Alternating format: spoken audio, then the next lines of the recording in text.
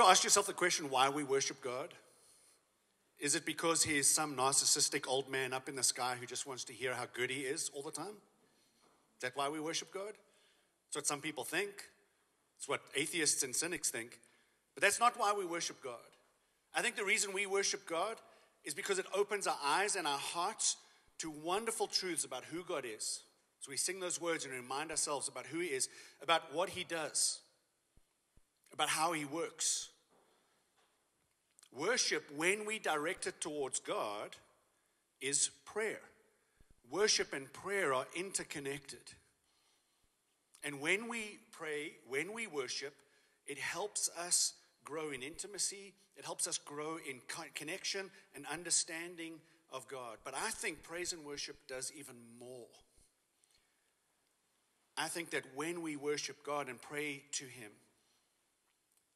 it helps us realize or have an experience of God that transforms us and might even transform the world around us. So, in this talk, what I would like to talk through and discuss with you is that connection between worship and prayer. And how, when we worship Jesus as he is revealed, there is power, power in our prayers. So, with that in mind, won't you pray with me as we pray for the message?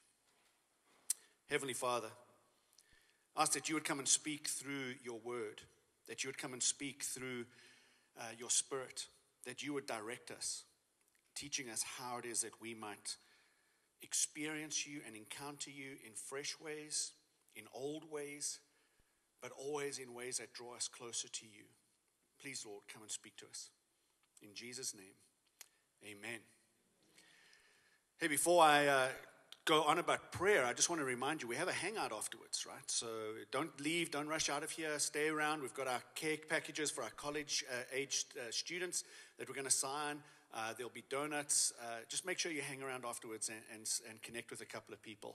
Uh, you might be surprised who lives in your town as you get to know others, right? So make sure you do that. We're continuing through the series on prayer, and we're continuing in our Matthew passage. And what we're looking at in, in our Matthew passage is uh, this encounter that Jesus has as he comes into Jerusalem. We're about two thirds of the way through Matthew, but the last third is all around one week in Jesus' life, the week leading up to the crucifixion. And this passage that we're going to look at dives into uh, this experience where we see worship at play. So have a look, have a look at the, these, uh, um, uh, the, these passages as we think about who Jesus is and, and what worship looks like.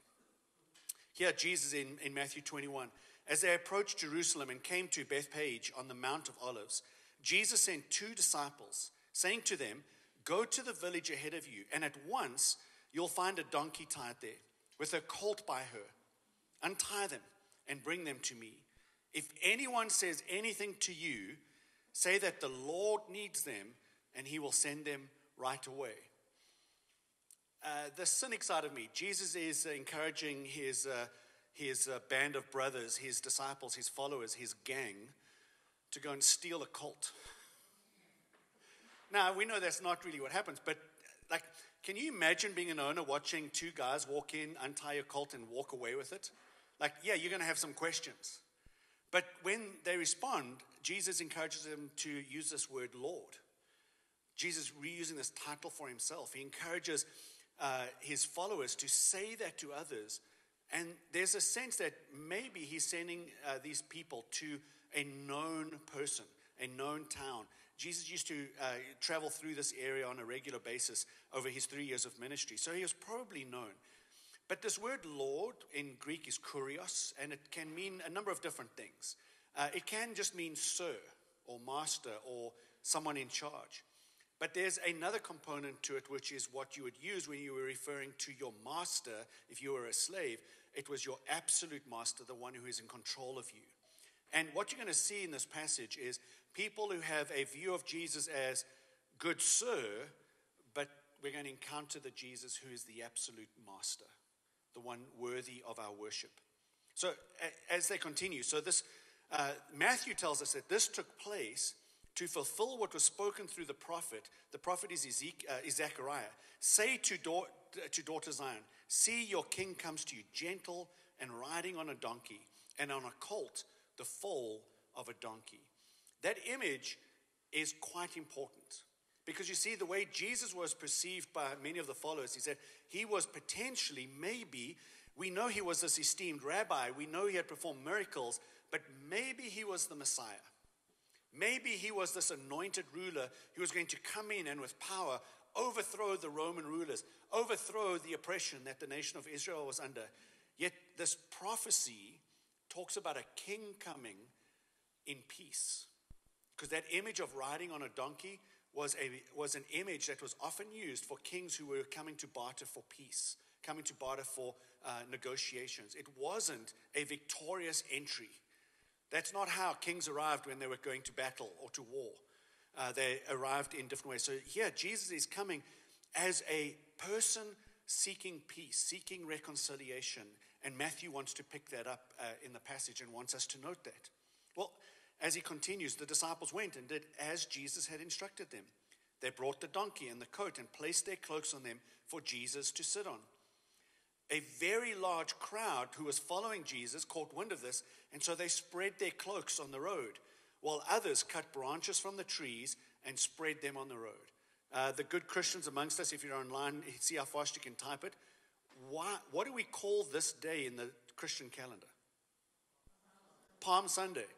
Because the people went and cut down palms and went and wafted them over. And we celebrate that today uh, in Faith Community by giving little kids a little a a palm front, and uh, the more adventurous ones run around and try to beat each other with them. Uh, kind of didn't get the peace side of the equation, uh, but you get the point, right?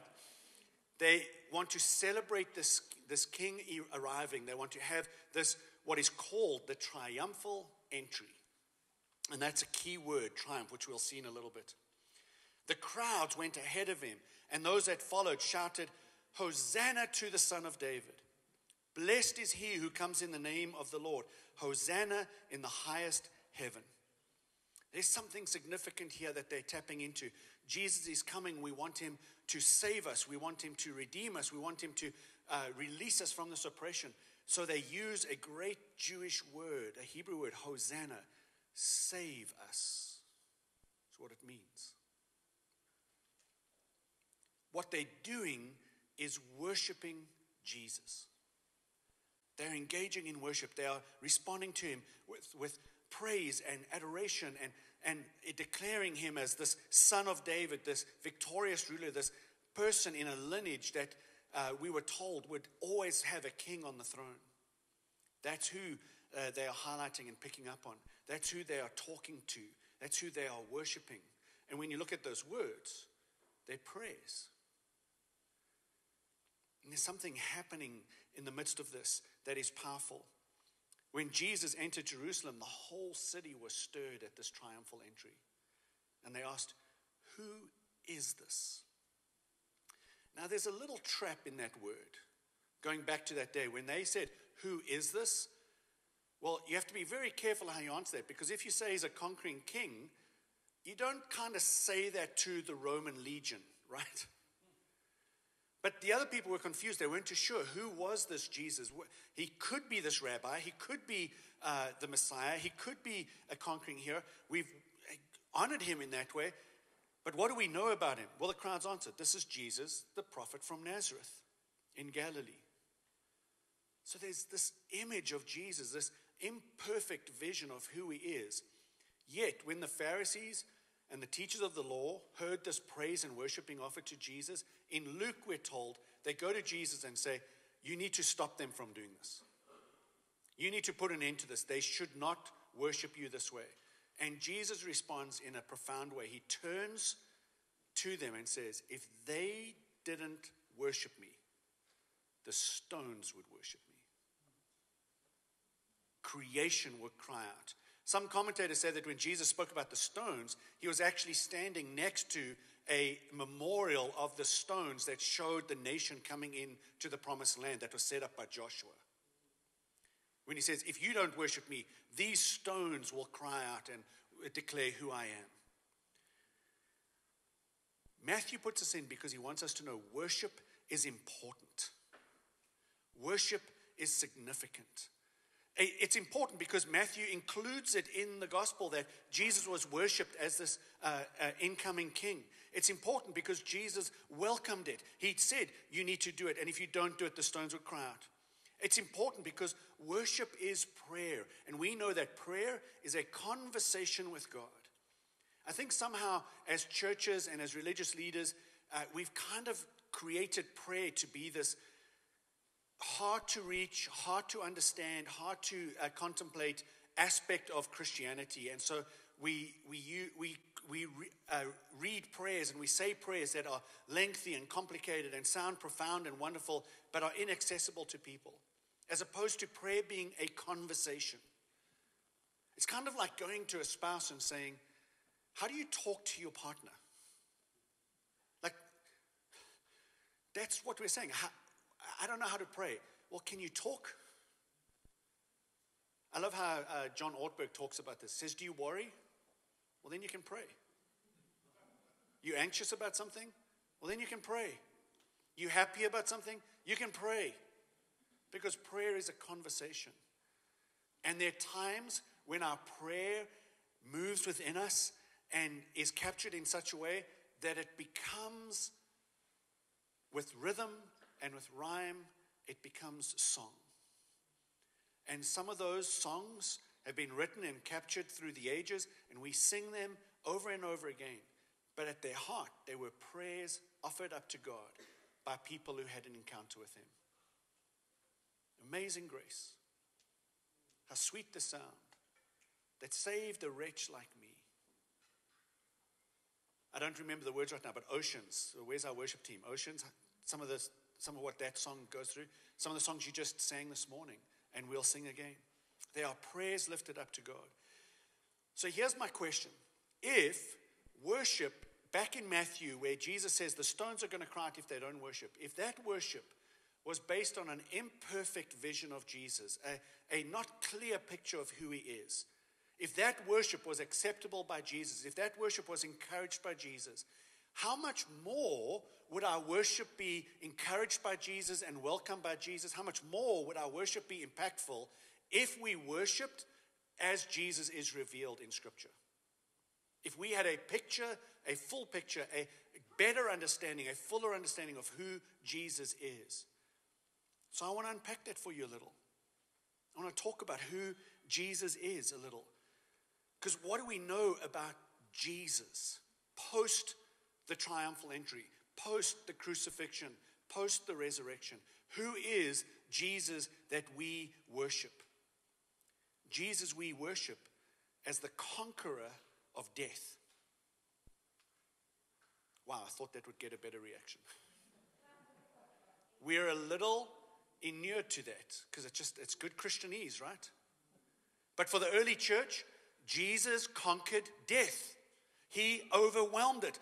This is what Paul writes in Corinthians, to the end of Corinthians, after sending them a lot of hard uh, conversations, a lot of hard challenges. And he talks about how the end will come when Jesus hands over the kingdom to the Father after he has destroyed all dominion, all authority, and power. For he must reign until he has put all his enemies under his feet. The last enemy to be destroyed is death.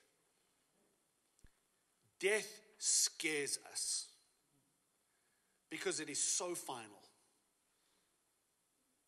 If you've lost a loved one, you know exactly what that means. It's final. They're gone. You can't talk to them anymore. You can't be hugged by them. You can't hug them. You can't lay eyes on them. It's final. It's scary for us. But what Paul is saying is that Jesus has conquered death, and so what is a gravestone for many people becomes a stepping stone for Christians. That's the power of this. Don't worry about people talking in the kitchen. Jesus is the conqueror of death. That's who Matthew reveals him to us as. He's also revealed as the purifier of the sin that infects us. John writes, If we walk in the light as he is in the light, we have fellowship with one another. And the blood of Jesus, his son, purifies us from all sin. One of the great images of sin in the Bible is it's like a ink blot, an infection that scars us, that, that uh, gets put on us and is a disfigurement. But Jesus comes along and pays the price for sin, and we are cleaned of our sin, our brokenness, our, our, our, our uh, hardship, our willful intent, our rebelliousness, but also we are purified of other hard, uh, harm that is done to us by others who have sinned. Jesus purifies us of all of it. This is the thing that I wish we would get as Christians and stop trying to tell people to do better and be good and clean their act up in order to be acceptable by, God. You don't have to clean your act up. You are already acceptable because God is the one who cleans you. He purifies you. That's the Jesus we worship, the one who purifies sin. Paul writes, he says, There is no sin that is too great for the grace of God to overcome. Jesus is the purifier of sin. Or how about this one? The resurrected Lord. Before he talks about conquering death, here Paul lays out the following uh, proof of the resurrection. Now, today we might ask for DNA evidence or medical records or a doctor's account. Back in that day, the proof of, a, of an event was not one eyewitness, but at least two. If you had two eyewitnesses uh, to an account, it was acceptable as legal evidence in a court of law. So here Paul lays his evidence. The first thing I did was place before you what was placed so emphatically before me that the Messiah died for our sins. He paid the price for our sins. He removed them, exactly as Scripture tells it. That he was buried, that he was raised from death on the third day, again, as Scripture says. Really prove it, Paul. Okay. That he presented himself alive to Peter then to his closest followers, the disciples, and later to more than 500 of his followers all at the same time. Most of them still around, although some, a few, have since died. But you can go and ask these eyewitnesses. They saw the resurrected Lord. That he then spent time with James and the rest of those he commissioned to represent him. And that he finally presented himself alive to me. Not one eyewitness, not two eyewitnesses, 502, 500, uh, plus another 10, so 512, uh, plus James, 513. 513 eyewitness accounts to the resurrected Jesus. Overwhelming evidence that he's resurrected. When we worship, when we sing songs on Sunday morning or in your car as you're listening to K-Love or listening to your Spotify list, when we are worshiping Jesus, we would do well to remind ourselves He's alive. He's not a figment of our imagination. He's not some made up God that we, that we follow. He's alive. And when you worship Him, whether you're driving or walking or running or lying in bed, whether it's as you wake up or as you go to sleep, Jesus is there with you.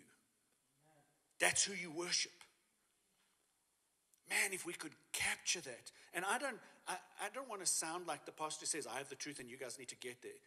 I'm really talking to myself, man, if I could capture how powerful that image is, what that would mean when we sing songs. And I'm talking as somebody who isn't a singer. I'm very jealous of you artists who can sing. Very jealous. When you sing, I spend my time trying to find the note. You guys just waft in so easy, and you know, um, I, I don't know how many notes there are, but I'm telling you now, I know twice as many because I just make them up. But when we worship Jesus as the resurrected Lord, there's something powerful in that. Which is why the early church called him the Messiah. Not because he conquered Rome and overthrew it, but because he conquered all powers, all authorities, all dominions. So Paul says, as he was his custom, uh, Luke writes, as was his custom, Paul went into the synagogue. And on three Sabbath days, he reasoned with them from the scriptures, explaining and proving that the Messiah, the anointed one, the one you are hoping for, had to suffer and rise from the dead. This Jesus I am proclaiming to you is the Messiah, is what Paul argues. He is the one you're looking for. That's why in Luke 2, when he writes about the birth of Jesus, which we read often, but we read it in the mindset of Christmas. What he wants us to pay attention to are these words. But the angel said to them, Do not be afraid. I bring you good news that will cause great joy for all the people. Today, in the town of David, a Savior has been born to you. He is the Messiah. the Lord. And he uses the word kurios there, mean the absolute master, the owner of everything, the creator of everything, the Lord. He's powerful. So he's the Lord, he's the Savior, he's the conqueror of death, the purifier of sin, purifier of sin, the resurrected Lord, the Messiah, which is why he is declared in Revelation as the King of Kings. They will wage war against the Lamb, but the Lamb will triumph over them because he is Lord of lords and King of kings, and with him will be his called, chosen, and faithful followers. That's who we worship. That's the revealed Jesus not just some teacher, not just a good guy, the resurrected Lord of Lords and King of Kings. He deserves our worship. And you know the amazing thing? We get to worship Him every day. Not have to, you get to. You get to worship Him. So when you worship Jesus, when I worship Jesus, when we worship Jesus as He is revealed, I think our prayers take on a different dimension. I think our prayers become, uh, uh, there's power in our prayers, not because of the words we say, not because of a special formula or technique that we follow, not because of any method of interaction, but because of who we are praying to, because of who we are worshiping. Prayer changes because of who Jesus is. Our worship helps us see him in that way, but our prayer changes. So, worship is prayer and it focuses on Jesus as Savior. It focuses on Jesus as Lord. It focuses on Jesus as the sacrificial lamb. It focuses on Jesus as the triumphant conqueror. Jesus as the way to the Father, which is why Paul writes this in Colossians. And having disarmed the powers and authorities, he made a a public spectacle of them, triumphing over them by the cross. Now, if you've ever done any Christian reading and, and you know the word the atonement, the atonement stands for the work that Jesus did on the cross. And there are lots of theories about the atonement. One of the most common theories today comes from kind of the church world that we're uh, uh in the tradition of, that turns the, the atonement into uh, the penal substitution theory. There was a penalty for sin, Jesus paid that penalty. He substituted uh, my uh, uh, price that I should have paid. He paid the price for me, so he became my substitute. You know, that, that's what it means the penal substitution theory. You know, that wasn't the dominant theory at the time immediately after Jesus. The dominant theory was called the triumphal theory. That Jesus, as he writes in Colossians, took all power, all authority, all dominion, all the things that stood opposed to God, and he nailed them to the cross and conquered them. They worshiped a conquering Jesus, not a lamb that somehow uh, changes my place. He was powerful, he was Lord, he was master. So, no sin, no uh, obstacle, no disease, nothing could stop that uh, from over, being overcome. And so, when they prayed, they prayed with a, with a focus on Jesus. You've already conquered, so just reveal it here. And when you read the prayers of the early church, they're not really significant. You know, they're not specifically powerful. The words seem weird, but there is power in them. Like, have a look at this. Uh, uh, I want to read to you uh, from Acts 16. It's a lengthy section, but I want to read to you the prayers that the early church prayed. This is in Acts 16. This is the birth of the Philippian church. About midnight, Paul and Silas, who had been arrested for th- casting a demon out of a slave girl. They were thrown in prison. It's about midnight. They're in the prison. About midnight, Paul and Silas were praying and singing hymns to God. Don't get distracted by worship style. For those of you who are hymn lovers, doesn't mean hymns are more powerful than other songs. Just they were singing hymns and praying to God. And the other prisoners were complaining. No, that's not what the passage says. The other prisoners were listening. Suddenly, there was such a violent earthquake that the foundations of the prison were shaken. At once, all the prison doors, all the prison doors flew open. I guess I'm excited. All the prison doors flew open, and everyone's chains came loose. It's not just a natural earthquake, the chains fell off. The jailer woke up, you think? It was his house that was shaking. And when he saw the prison doors open, he drew his sword and was about to kill himself because he thought the prisoners had escaped. But Paul shouted, Don't harm yourself. We are all still here. The jailer called for lights, rushed into the prison, and fell trembling before Paul and Silas. Of course, he fell trembling. Why were the prisoners still there? He then brought them out and said, Sirs, what must I do to be saved? So they teach him about Jesus. He commits his life to Christ. He becomes baptized. He joins a woman who was a wealthy woman called Lydia, and they become the early church called Philippi, Philippians, the church in Philippi, because Paul and Silas.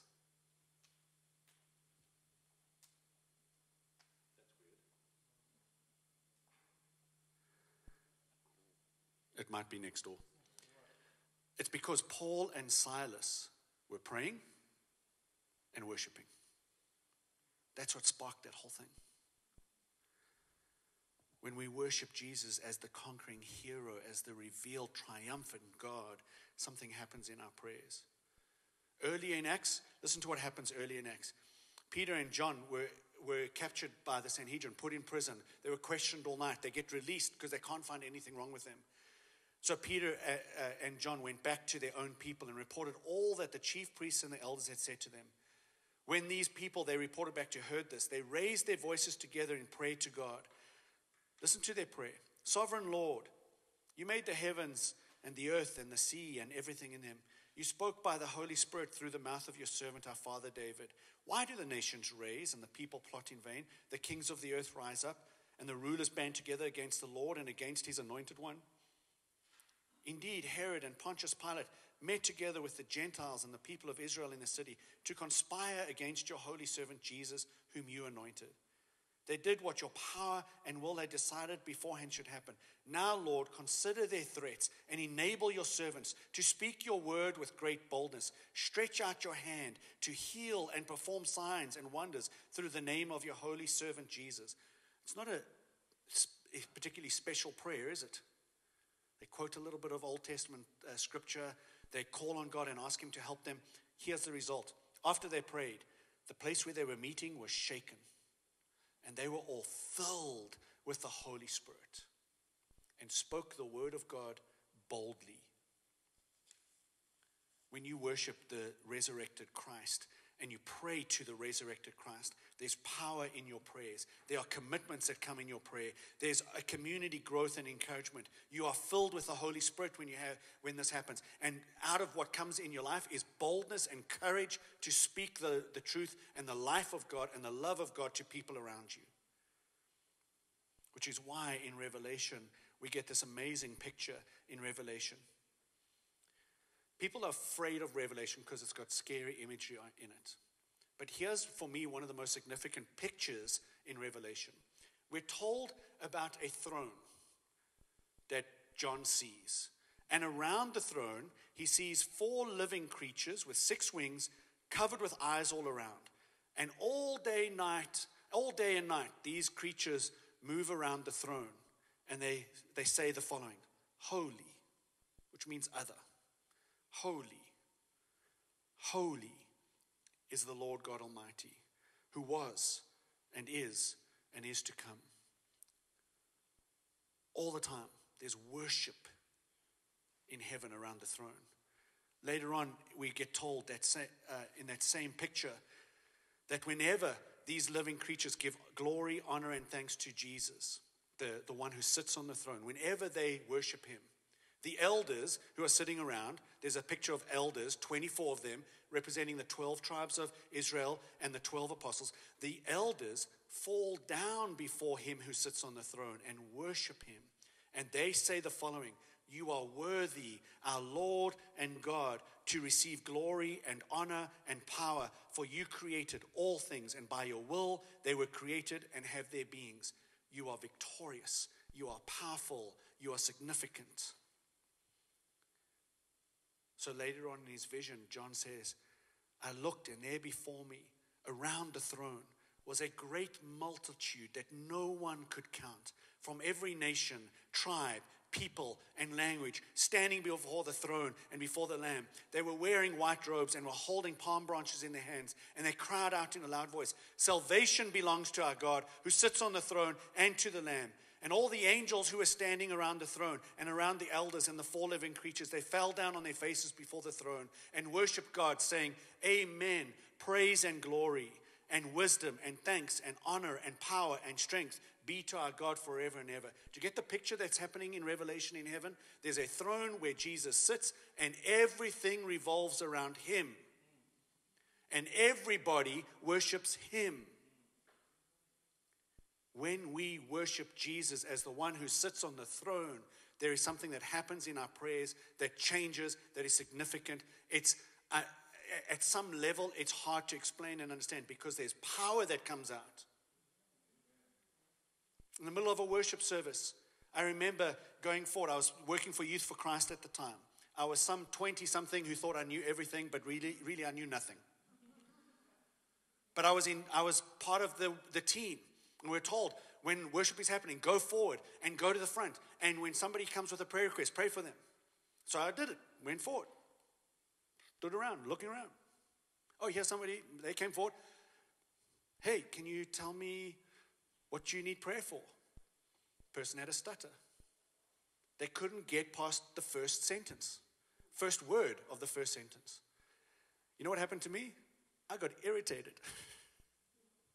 I was like, I want to hear your prayer request. Like, this is, I could feel the frustration in me going as the person just stuttered over and over again, couldn't get to it, couldn't get to it. I was like, oh my word. So eventually I was like, because, you know, I'm a lot like Peter, I jump before I look. I looked at the person and said, Can I just pray for your stutter, please? Because now I was irritated. Yeah, they, they nodded their head. So I prayed for their stutter. Finished praying, said, Now what's your prayer request? They looked at me and they went, That was it, I'm done. And they walked away. I was like, What? God removed their stutter like that. And they didn't even have to ask for it because they couldn't get it out. But somehow my irritation led me to the right prayer request. But that's the power of the Holy Spirit pouring on that person. But there's story after story I've heard of people prayed for. Uh, that was instantaneous, but I've heard of faith groups who prayed for people for 10 years and let the power come through over 10 years of prayer. I've heard stories of parents praying for their children through hardship and, and struggle and watching them find their way through. There is something that happens when we worship God. So I have a question for you. Do you want your prayer? Do you want your prayers? Do you want our prayers as a community to be like those recorded in Scripture? Do you want your prayers to have power and influence and impact like that? Then the step to that is to worship Jesus as he is revealed, not as we make him up to be. Worship Jesus with the focus, energy, and passion that is his due because he is the Lord. He is the Messiah. He is the God, and salvation belongs to Him. Worship Him in that way. And it's why we want you to pray the breakthrough prayer, because I want you to look at how we start the breakthrough prayer. Dear Lord Jesus, the powerful, triumphant, conquering, purifying, resurrected Lord. Dear Lord Jesus, Show me who I can love radically today. And as we sing about that, and as we pray that, as we worship Him, who knows what God might do through you today and tomorrow and Tuesday and Wednesday? Who knows what conversations might happen through you, what prayers might happen through you? Who knows how God might heal you and uh, perform some miracle for you? Who knows? But the follower, what our job is, is to keep going back. Dear Lord Jesus, show me who I can love radically today. So I want to invite you. I want to invite you as we close our service to sing with that sort of belief. Don't fake it. If you don't have it, don't fake it. But if you believe that Jesus is resurrected, if you believe he is powerful, if you believe he is the triumphant Lord who has power over these things, I want to invite you to stand and as the band comes up, to sing with power. And then let's close our service together when Andrew comes up. I'll just ask you, Andrew, to pray the breakthrough prayer for us at the end.